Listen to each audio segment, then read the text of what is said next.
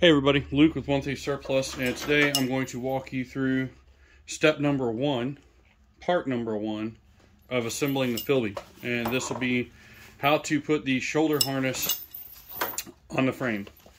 So, first you're gonna do is lay it out like so. There's four uh, attachment points up top. There's these two here. All right, you're gonna take the frame like so these right here, and there's multiple ways of doing this, and this is the reason I'm breaking up into a multi-part series, is because not only do I want to show you how to put it together, but I want to show you how to be able to adjust it to uh, fit your particular body type. So if you buy one of these assembled, you're still probably going to want to adjust it. We have one way that we assemble them that we feel fits the most, the widest variety of people.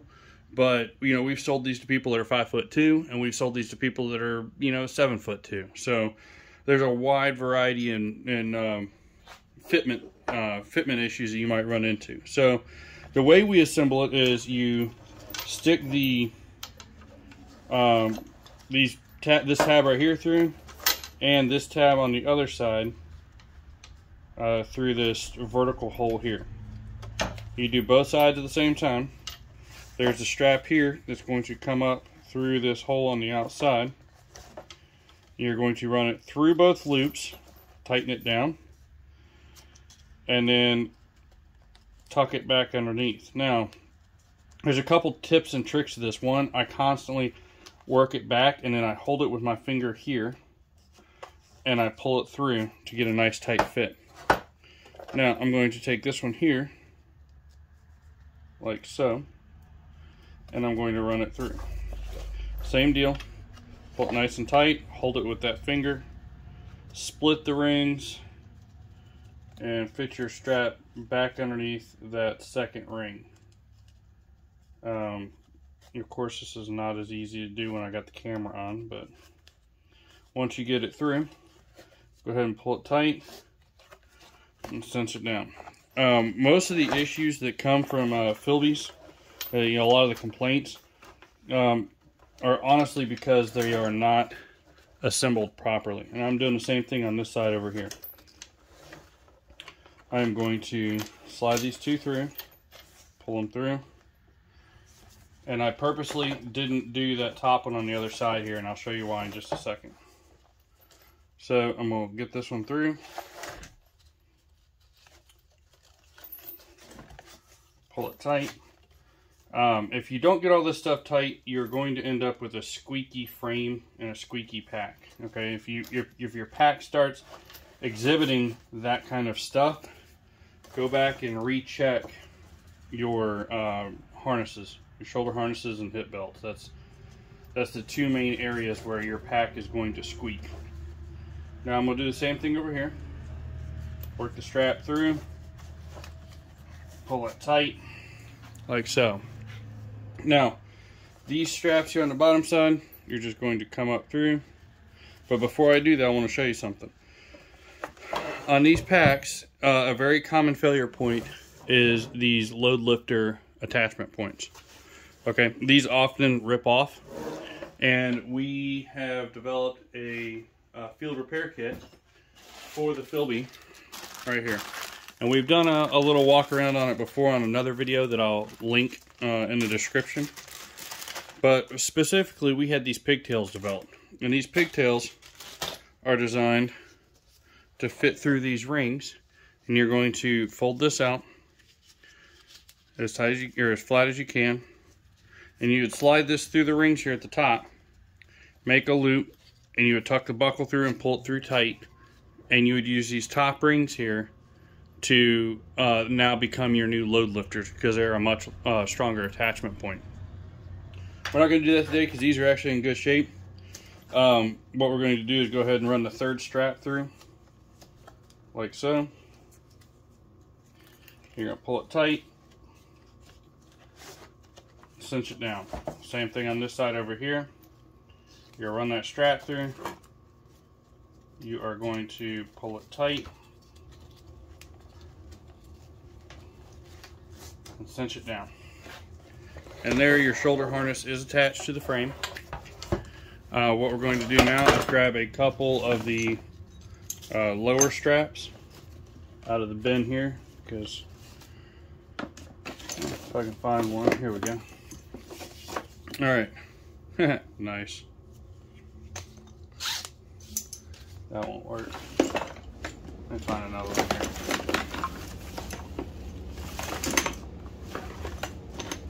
here. We go. So, what you're gonna do is in this uh, top outside hole right here on the frame, this is where your hip belt goes. On the top outside hole, I'm going to run this through. I'm gonna take the buckle, and I'm gonna stick it through. I'm gonna pull the running end all the way out, and I'm gonna cinch this sucker down nice and tight. Now, I'm going to take and slide it into the buckle here. You're gonna have to undo the snap. That'll open the buckle, shove the buckle in, snap it back down, and there you have it. Now, if you were smart and you weren't like me, you wouldn't have just done that to the wrong side of the harness. But, now you get to see it again. Buckle in, lock it down, snap it. Rotate the harness around. Same thing on this side. You're going to shove it through. Make a loop. Pull the buckle through the loop. Pull the running end all the way through.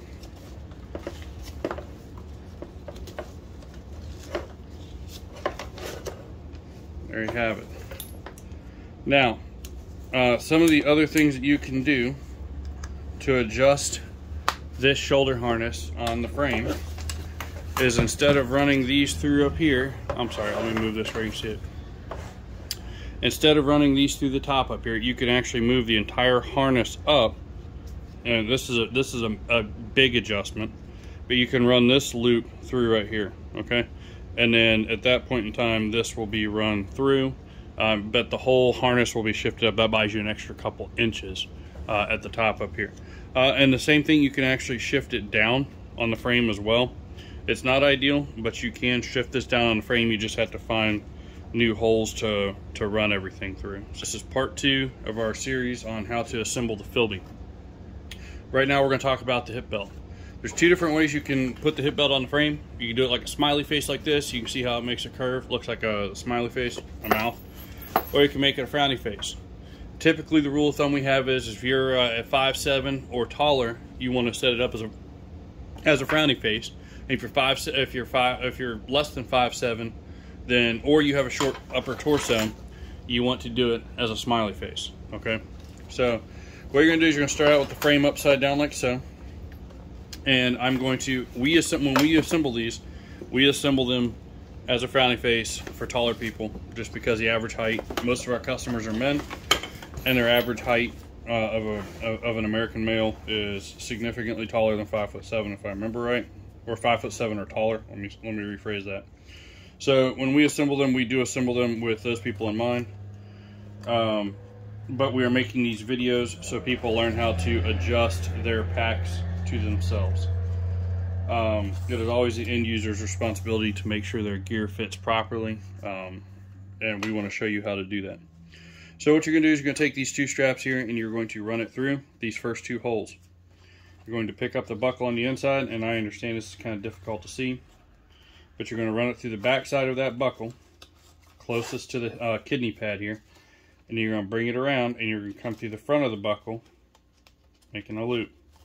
Now you don't want to pull this too tight because you want to make sure that your belt stays centered on the uh, on the frame here. So when you come around to this side over here you want to have enough adjustment enough slack left in there to push it over where it needs to go so your belt does not end up being off centered so now that we get this through here we're going to do the same thing on this side. It's uh, not rocket science, guys, but, you know, um, as with the uh, shoulder harness, you want to make sure that you get everything nice and tight once it's once it's set up because you'll end up with a squeaky pack if you don't, and nobody likes a squeaky pack. Or if you do, you're kind of weird. Anyways, um, now that now that we have this uh, centered up, I'm going to grab this side and this side, I'm going to give it a good pull. Same thing with the bottom here. I'm going to pull it nice and tight. Now, next step is we're going to shift this up just a little bit. You hear that pop? That's nothing crazy. That's just it sliding down on the plastic pieces here. There's two metal D-rings on the inside here. Right here. You're going to grab these. Here, let me try and set this up a little bit for you so maybe you can see. This makes it a little more difficult for me, but uh, the same thing as with the shoulder harnesses. There's two D-rings. You're going to go underneath both of them. This is where I will actually cinch it up quite a bit so I can reach them. And then I'll split the D-rings and I will run the strap back underneath the first one, which will allow me to cinch everything down. Now that one's done. I'm going to go through this hole here with this top strap. And I am going to do the same thing here. I'm going to pull it tight. Put my thumb here to hold it. It'll loosen that up, allow me to get some slack and get this strap underneath that D-ring. I call it a D-ring. I don't remember what these things are actually called, so don't don't don't ding me on uh, the uh, nomenclature, guys. All right, that's cinched up nice and tight now, and you have a fully assembled FILBE suspension system. I hope this helps, guys. Um, the next step is going to be actually putting the uh, pack itself onto the frame. This is the FILBE main bag. It's about a 5,000 cubic inch bag. Um, really well designed, actually, for what it is. Um, you're going to start out with, uh, you know, these are the assault uh, assault pack clips. You kind of pull this up out of the way. This right here is the frame pocket, so the frame goes in here, and these are going to go around the frame you're going to have to have some um, compression straps that clip in here that are attached to the frame that go around the clip, and we'll cover all that in just a minute. First, we're going to grab the frame that we assembled, the suspension system we assembled in the previous video, and we are going to go ahead and tuck it into the frame pocket up here at the top. Um, there's the load lifter clips. You're going to want to make sure those are pulled up out of the way, like so. Now it's in the pocket. You know when you you know you have it uh, right when this piece of uh, this this tab right here. There's a handle right here, and there's a tab.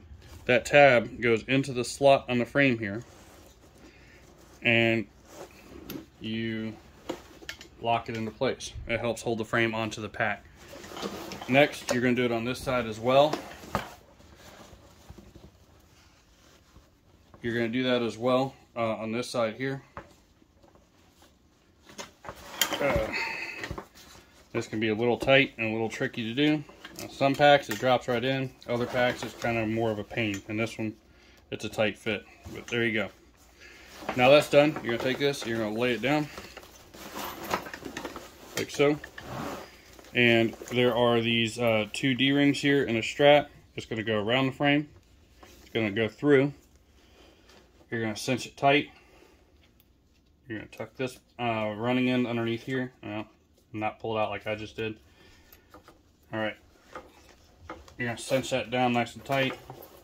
Same thing on this side over here. You're going to go through. You're going to go back through. Like so. You're going to pull it tight and pull that running end out. Now, this is a part where a lot of people forget. Okay, if you notice the pack is kind of floppy here, there's another one of these tabs. It goes in right here, like so. And you're gonna reach underneath, and you're gonna pull it tight. And you might need to help it from the back side here, like so. There's one on this side as well. You're gonna take and push it through. Hold on, try to keep this in the camera for you. Not easy to self-film this stuff. All right. Now the last thing you have to do is you have two buckles here. And a lot of times, honestly, this is easier to do uh, before you put the bag on. But also a lot of people run their packs without them. Your pack should come with two of these compression straps and they have two male buckles on them. What you're going to do is you're going to lift the frame up and there's this big hole down at the bottom of the frame, right here. Sorry. I will turn this around for you, right here. So you're gonna take your strap, you're gonna poke it through the loop side, through that hole. like I said, now you can kind of see why this is easier to do before you put the hip belt on. Um, you're to take your buckle, you're to feed it through. This is a tight fit. Don't don't get uh, discouraged if you struggle with it. Um, those loops are made almost the exact same, almost the exact same width as the buckle, so it can be a tight fit. Once you get it all the way through, you're to finish feeding the strap through. You're to cinch it down nice and tight. And this buckle here, you're to run all the way down. And on the back side of the pack here is a female buckle. You're going to connect those together. Now, this right here will go through this, this uh, strip of MOLLE here, like so. You're going to pull it through. There's another uh, strip of MOLLE right here as well. You're going to pull it through there.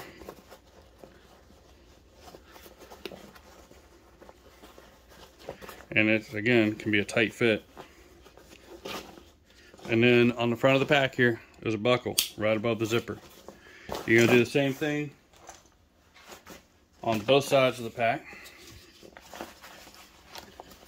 Um, on this side as well. You're going to kind of force feed that loop up through the bottom of the frame here. Well y'all I apologize. My camera flat out died on me and I just banged into it with the pack here too. So anyways um, it, it died as I was fitting this through over here. Uh, the only thing I was going to tell you is a couple little tips and tricks for keeping your pack in, uh, up and running in the field. Here on the uh, lid, these uh, the closure buckles here are a very common failure point. And if you're in the field and this rips off, uh, the easiest, it's going to rip off from inside here. These anchoring stitches will give way. Um, simply just take your assault pack buckle and turn it around, just pull it down, and that'll get you by. Um, honestly, this is, this is a stronger attachment point anyways, but I just wanted to include that so you could see a, a quick and down and dirty way of uh, keeping your, your pack up and running in the field. Also, this is where our um, field repair kit comes in really handy. I strongly suggest just keeping something like this in your pack, and that's why we put it in such a convenient little bag. If you're going on an extended trip, something like this, just throw it in the lid of your pack and it will keep you going um, for quite a while in the field. So hope y'all got something out of this. Um, if you have any questions or comments, leave them down below. Like, share, and subscribe. And like like I always say, go out today, touch some grass, spend some time in nature, get outside, get away from the, the rat race, and enjoy your life. Build some memories, and y'all have a good one. Thank you very much for watching.